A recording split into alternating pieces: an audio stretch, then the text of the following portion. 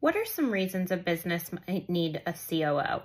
Thought I'd go through three different reasons that we often find with businesses that we work with. The number one reason is that a business owner wants to create more bandwidth for themselves and for their team.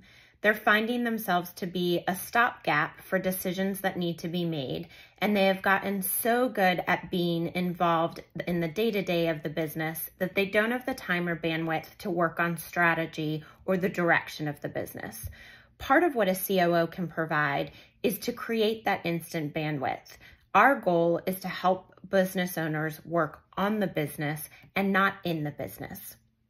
The second reason that we find COOs can make a huge effective difference is being a partner and understanding the ins and outs of the business, but being on the outside as we make recommendations, help to put together measurements and plans, and also provide some execution in the vision that the business owner has.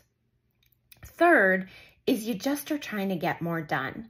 Sometimes as your business is growing, expanding, or changing, everybody, even being the right fit, is at capacity. And you need some talent and some resources to help get more of the right projects across the goal line without asking people who are already at capacity to do more in the quality of, of way that you expect.